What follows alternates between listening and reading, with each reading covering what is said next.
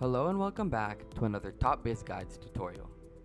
In this video, I'm going to be showing you how to add a role for your employees in your Homebase account.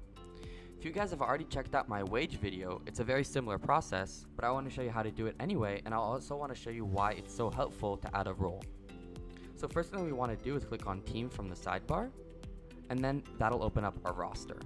We'll see the column called role, and here this is where we'll add the role for our relevant employee. So we can see that three out of five already have a role. So let's add Harper's role as well.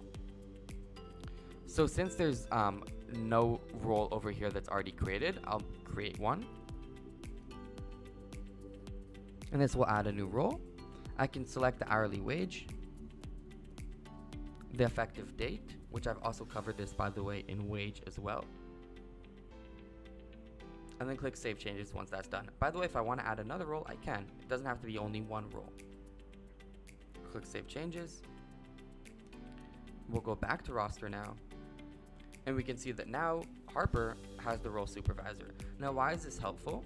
Well, it'll make scheduling a lot faster. So right now, if I go into the job schedule and I want to add a job for Harper, by default, when I click add, you'll see that it defaults to the supervisor role because this is the role that's assigned to her. So when I click on add, it'll already add the relevant shift with the relevant role. So that's it. That's how you can add a role into your Homebase account and then assign it to your employee. Hope you found it helpful and you enjoyed it and hope to see you on the next one.